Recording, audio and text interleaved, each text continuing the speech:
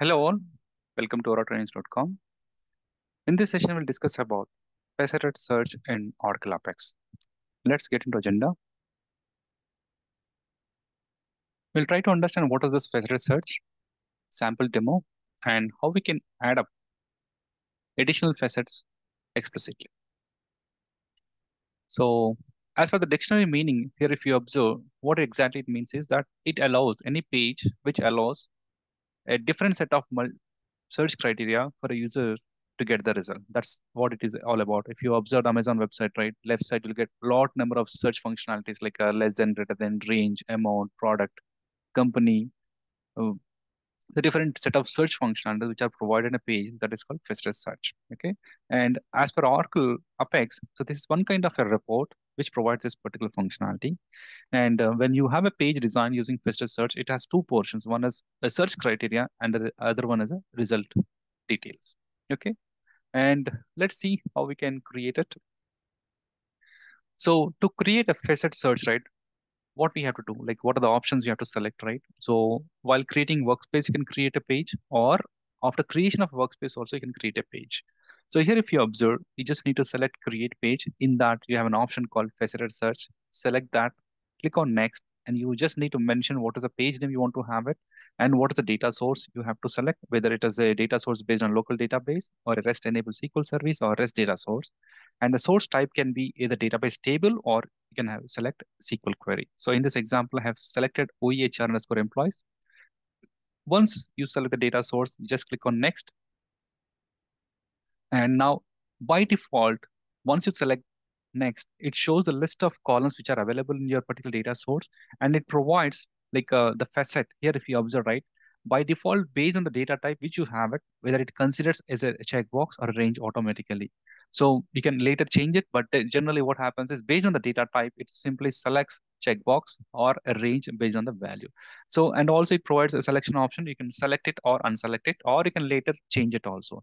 And display type, we have two types. One is a report, other one is card fashion. Report is nothing but it displays the data in a table fashion. A card means like it displays a card set of kind of functionality in the page. Okay. So once you select create page, this is how the page structure looks like.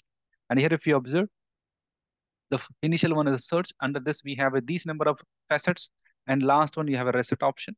And like uh, under the facet, you have a different set of facets, right? One, two, three, uh, total six facets we have it. And if, if at all, if you want to create an additional facet, you just need to select this particular region and you have to create a facet. So this is a, a simple page structure after creation of the page. Now, once you click on run page, this is how the page looks like. So this particular one, the table region which I have highlighted, this is the table region and which has all the columns from your table. On the left side is search criteria. And now here, if you observe, it shows job, manager, department. Of course, it has some more other facets. And in this one, these, these set of search criteria, we call them as facets. And here, if you click on this particular icon, it shows two options. One is filter as well as search criteria. Okay. Now, so like um, this all how a facet looks like, right? So now what we do is before creation of additional facet manually, what, what we just try to understand how do we create this particular page in Oracle Apex. So let's see the live demonstration. So I'll go to Oracle Apex instance. The first and foremost important thing is the data set or nothing but the table which I'm selecting is based on the sample schema which Oracle Apex provided. If you don't have this one, what you can do is just click on SQL Workshop utilities and click on manage sample data set and try to install this HR data. Okay. And of course, if you don't have it also, you can create your facet search page based on the available table. But I prefer this is a, a very good example to work on with. So once that is ready, what you can do is click on app builder, click on create. Now I'm just creating a workspace. Click on new application. Sorry, not workspace application. So click on click on new application. Now I'll just say set app. And now you can either click on add page or once your app is ready, also you can do it. We'll just try to create after the app is ready, right? I'll just click on create application.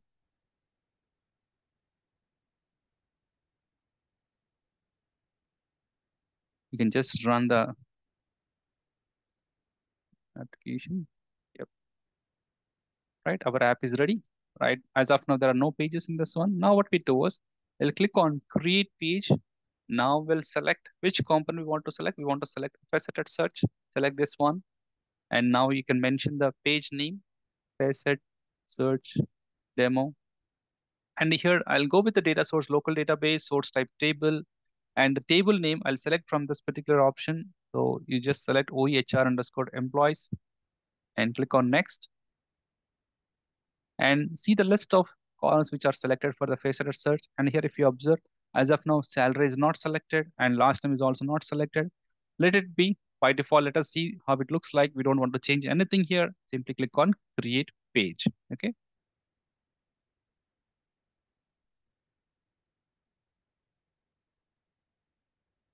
Okay. Now it shows six facets, right? And now this is called facet, right?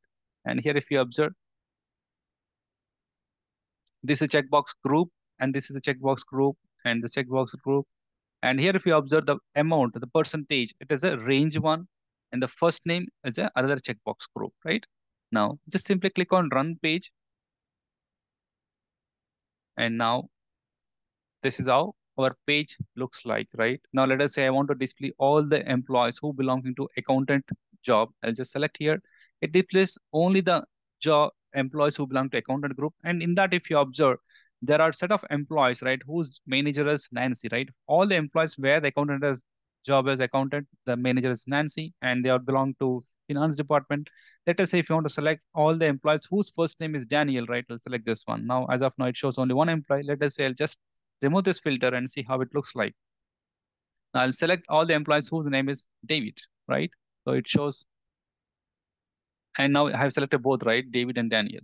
Now let us if you want to clear it, you can click on clear it, right? Now, other option you have, you have it, right? So you can just see here. And within that, let us say, you know, like if you're, if the data set, what you have in the job is very much huge, what you can do, you can just simply type it, right? Like this, you can type it right? Now I want to select all the employees whose job is sales representative as well as sales manager. And this is how I can select, okay? Now, other thing which we have in the facet is like you have an option called chart, right? You can just select show chart. It displays the employees based on this particular job type, right? For each particular job, how many employees you have it. That's how it displays, right? So this is the default functionality of showing a facet, facet search page, right? Now, what we want to do is let us say, as of now here, if you observe, we don't have a facet based on the last name, right? Let us add that, okay? So before that, what you want to do is just let us see the columns which are there in the table, right? We want to create a facet, but you know, like uh, how it works based on the database table which you selected. So I'll just say select star from.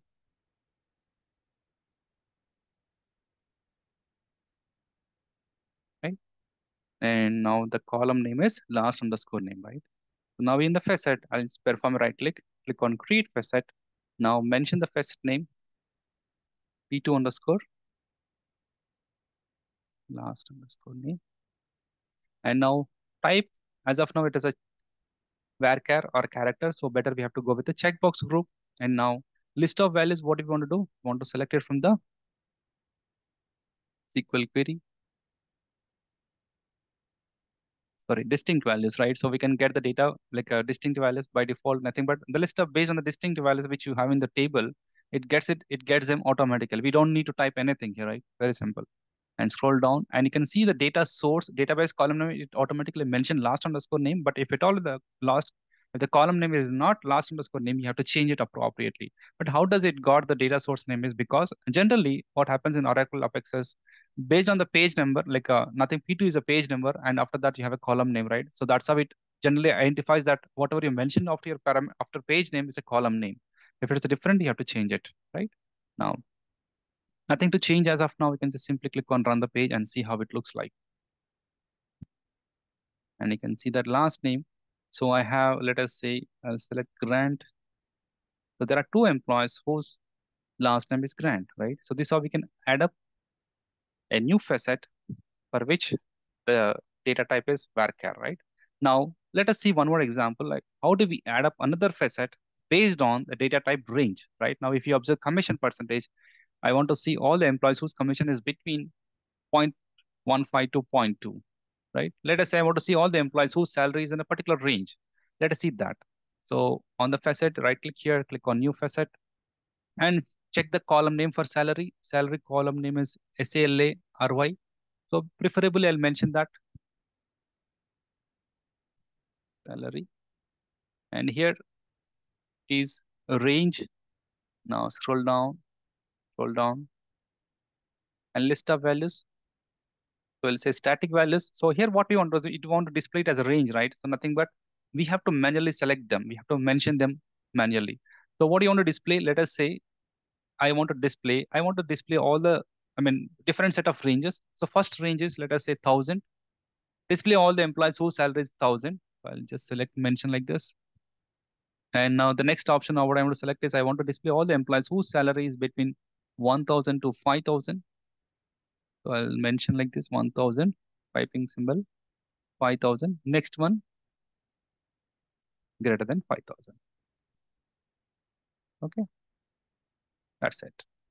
Now click on OK and let's run it.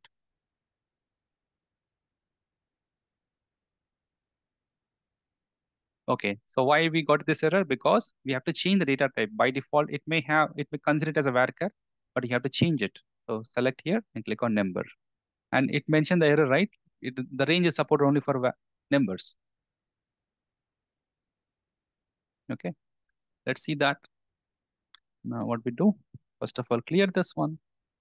And now we have two ranges. Let us say if you want to display all the employees whose salary is less than 1000, select this one.